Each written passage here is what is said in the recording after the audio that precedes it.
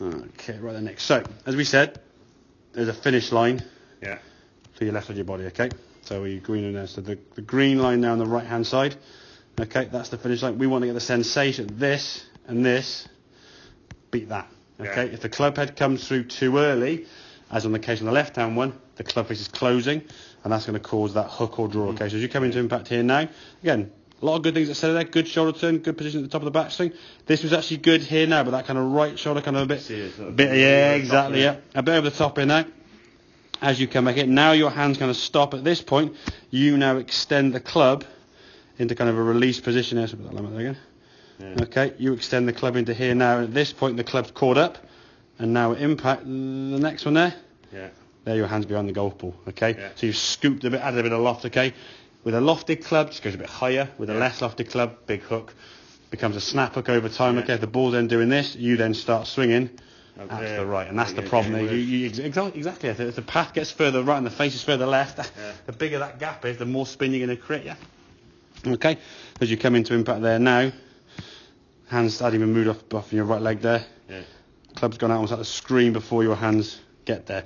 Whereas this, when the feeling of that sort of that, keep the hands in front, lead there. As you come in here now, there's impact. I get closer Yeah. lines of the way. Look at that line. Hang on, the way things sit.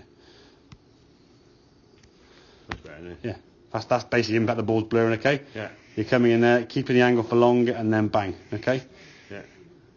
compare that to that impact position. Just look at the just look at your body there. Yeah. Looks much better. That's doink doink. That's Yeah. that way. You see, that's going to keep the club face squarer, and then you release through. Okay. Now these are kind of sort of like three quarter kind of punchy follow throughs. Yeah. You finish there. Now in time your arms will just sort of get used to that impact. Just basically they can fold over the shoulders. Yeah. If you look at a lot of the tour players with their irons, like A lot of them Fleetwood, like- exactly. like that, they they, yeah. they get it. They go, well, I don't need to do much more to be fair. He gets a bit uh, hooky sometimes, doesn't he? Exactly, yeah. Thing is, if you've got a good strong club face, okay, which you have, okay, as you come back to golf, if you start using your hands too much and folding your hands over, yes, it can create a lot of power Yeah. if you can time. it. That's the way the ball a long way, when you your strength as in distance, Yeah. it soon becomes a weakness when you start Yeah, losing control. Yeah, yeah, exactly. Yeah. You look at some of these long driving guys; they've got so much their hand phew, and they're ripping into the golf ball as much as they can. A good drill, there's two good they drills. Only, only One ball, one ball in six into the fairway. Exactly. They, they're trying to smash it 400 yards. One out of six in two, two and a half minutes they've got, and that's what they've got to try and do. Just smash them as far as they can. There's no, there's no golf um, That was just good distance. relevance to their game. It's just how far can they smack it. I mean, they look at, I think 500 yards is the new sort of like benchmark they're aiming for, which could be done. I don't know. I mean, Joe Miller's up to sort of the 430s, 440s, and Yeah. they're pushing it more and more and more. Get the right conditions, you can get that far. Okay, but for you in terms of the impact position, you get that sensation. You're swinging into that that wall, that finish line. So what you can do then from here is make some swings where you kind of go bump, bump, Yeah. just get that movement actually for the hands to kind of win the race back in the golf ball and almost hit some sort of like three quarter punch to sort of feel this kind of Yeah.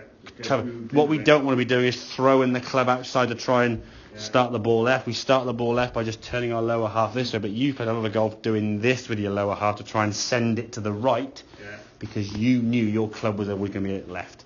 It tended to overtake and flick a little bit.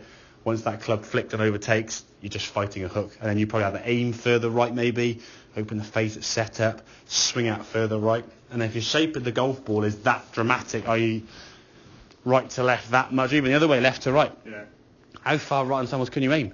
Yeah. You stand that third on the button. Do you want to aim it in the middle of the trees down the Pendleton lanes? Of course you don't. Exactly. So you lay it down the tree line and then where's it end up on the fifth fairway? Yeah. Okay? If your shape of shot could be okay, I'll aim on the right hand side or even the centre, and if I draw it 10 yards left of the fairway, that's fine. It's when your shot is 40, 50 plus yard banana in, tough to play golf that way, isn't it? Okay? So getting that sensation we're swinging through, the hands are going to win that race. This impact bag here, mate, is always, it's just kept there. If you want to come in and have a whack, Yeah. just, batter it. If I'm not obviously using it, let's just come in and give it a smack as, as, as you want to do. Just get that feeling of coming in, getting that club face to be behind everything else. Once the club overtakes, that's the release of the power. That is that is perfect. that is your shape of shot. Now what club's that? Seven nine, Yeah. and you've tapped that. Yeah. 146, 145, yeah.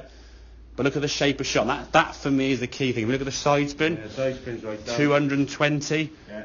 launch trajectory for a 7 9 18.1 is tall standards. That's lovely, to be fair.